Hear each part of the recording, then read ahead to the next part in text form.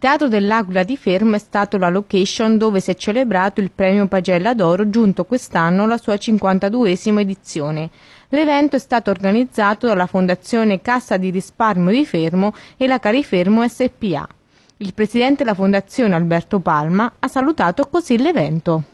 Eh, da 52 anni era il 1962 quando i nostri predecessori ebbero questa felice intuizione di dar vita a questo premio Pagella d'Oro che originariamente circoscritto al solo Fermano si è poi, eh, diciamo, man mano che l'attività della banca si è allargata ad altri territori, oggi ricopre l'intera provincia di Macerata, quella di Ascoli Piceno, parte della provincia di Teramo e parte di quella di Ancona sono eh, località eh, in cui oggi siamo, ci troviamo a, ad operare e eh, alle quali abbiamo esteso questa iniziativa.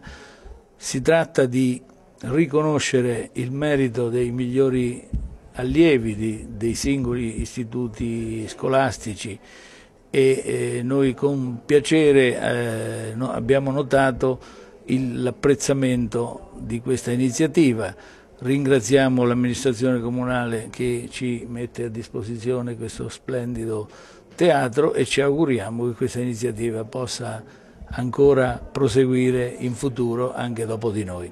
Non sono inoltre mancate considerazioni sulla legge di stabilità e sul difficile momento di congiuntura economica. C'è una penalizzazione fiscale molto pesante che inevitabilmente si tradurrà in una contrazione delle somme, delle somme disponibili per gli interventi in campo culturale, sanitario e sociale.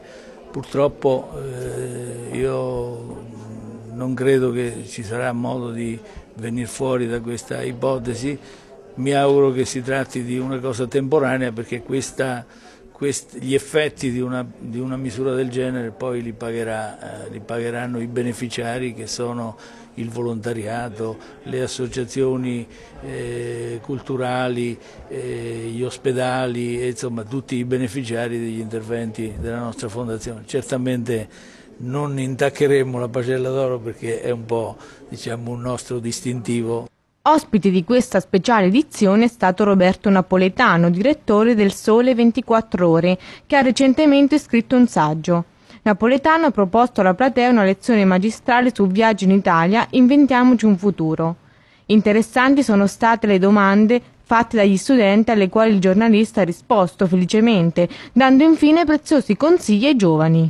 Ai giovani si devono chiedere mille volte che cosa voglio fare io nella mia vita, dove sono i miei talenti e dove voglio investire questi talenti. Se un giovane riesce a farsi questa domanda e soprattutto a rispondere a questa domanda, ha guadagnato molto, molto, molto nella realizzazione del suo progetto di vita. Noi questi giovani non li stiamo aiutando, non li stiamo aiutando perché non abbiamo creato le condizioni per investire fino in fondo sul loro talento.